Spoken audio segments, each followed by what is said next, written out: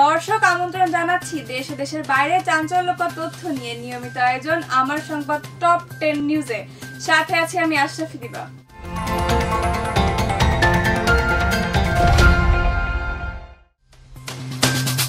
দু সালে প্রধানমন্ত্রী শেখ হাসিনাকে হত্যা চেষ্টা মামলায় ফায়ারিং স্কোয়াডের মৃত্যুদণ্ডপ্রাপ্ত পলাতক আসামিকে গ্রেফতার করেছে পুলিশ। করোনা ভাইরাস প্রতিরোধে প্রতিষেধক প্রথম রাজ্যের টিকা নেওয়ার সুযোগ রয়েছে। এখনও রাজধানী সহ সারা দেশের সরকারি, বেসরকারি নির্ধারিত টিকাদান কেন্দ্রের নিবন্ধন কিংবা তথ্যপাত্র দিয়ে টিকা নেওয়ার সুযোগ পাবেন বলে জানিয়েছেন স্বাস্থ্য অধিদপ্তরের টিকা কর্মসূচির পরিচালক ডক্টর মোহাম্মদ শামসুল হক। দুই লাখ সাত হাজার পাঁচশো পঞ্চাশ কোটি টাকা উন্নয়ন বাজেট চূড়ান্তভাবে অনুমোদন দিয়েছে সরকার। এক হাজার সাতশো চুয়ান্ন প্রকল্পে ব্যয় হবে এ অর্থ। রাজধানীর হাতিরঝিল থানায় পৃথক দুই মামলায় বিএনপির সিনিয়র যুগ্ম মহাসচিব অ্যাডভোকেট রুহুল কবির রিজভির বিরুদ্ধে গ্রেফতারি পরোয়ানা জারি করেছেন আদালত।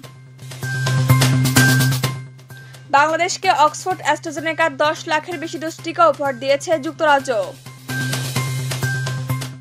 ভোটাধিকার রক্ষা করব, এটা ফাঁকা বলি নয় বলে মন্তব্য করেছেন প্রধান নির্বাচন কমিশনার কাজী হাবিবুল আওয়াল। বাংলাদেশ চলচ্চিত্র শিল্পী সমিতির সাধারণ সম্পাদক পদ নিয়ে চিত্রনায়িকা নিপুণ আক্তারের আপিল অবৈধ ঘোষণা করেছে হাইকোর্ট, যার ফলে শিল্পী সমিতির সাধারণ সম্পাদক পদে থাকছেন চিত্রনায়ক জায়েদ খান। ইউক্রেনের রুশ সামরিক অভিযানের জেরে রাশিয়ার উপর একের পর এক নিষেধাজ্ঞা জারি করেছে যুক্তরাষ্ট্র তার নেতৃত্বাধীন সামরিক জোট ন্যাটোর সদস্য রাষ্ট্র। তবে রাশিয়ার উপর কোনো নিষেধাজ্ঞা দিচ্ছে না তুরস্ক। রাশিয়ার নাগরিকরা এখন থেকে দশ হাজার মার্কিন ডলারের বেশি অর্থ নিয়ে দেশ ছাড়তে পারবেন না। মঙ্গলবার এক ডিগ্রি জারি করে এ ঘোষণা দিয়েছেন রুশ প্রেসিডেন্ট ভ্লাদিমির পুতিন।